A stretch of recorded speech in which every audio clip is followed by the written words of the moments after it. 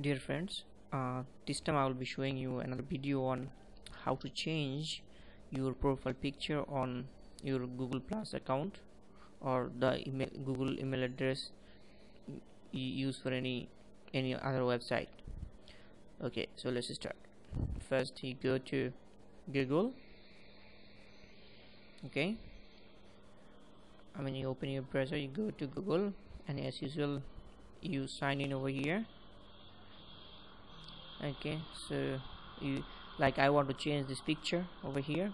So the picture you want to change you click on it. Okay like this. So it will ask you for the password once again. You put the password. Mm -hmm. so you sign. In after you sign in you see the picture over here. I want to change it. Well so for that you click there. It will show you Google Plus profile you click on that. When you click on that this will come.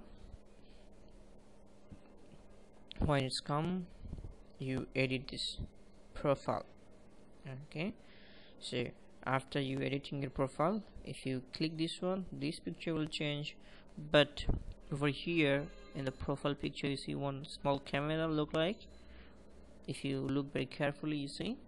You click on that then it will give you a few options. You it will ask you to choose a pick a photo or upload a photo. So in this case you have to find out where is the picture you have. So let me find out which picture I have. So if you click the upload like I show once again if you click this upload it will give you option.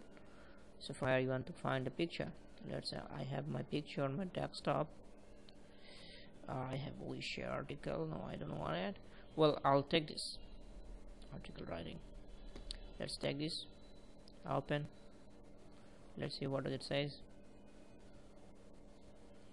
Okay done. That's it okay so it's changed. And thank you for watching. And please do not forget to give a comments or subscribe me.